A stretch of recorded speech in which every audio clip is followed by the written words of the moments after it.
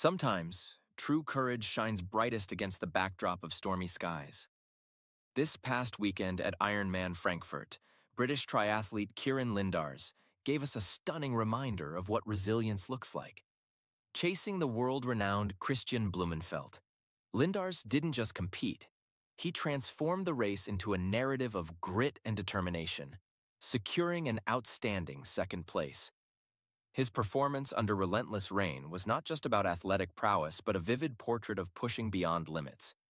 Having competed in triathlons myself, I've felt that same mixture of adrenaline and sheer force of will. It's about more than just training. It's about transcending the elements and your own expectations. Have you ever had a moment where you surpassed your own expectations in challenging conditions?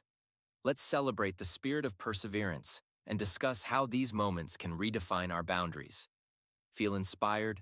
Share your story or tag someone who embodies this relentless pursuit. Kieran Lindars at Ironman Frankfurt, chasing greatness amidst the storm.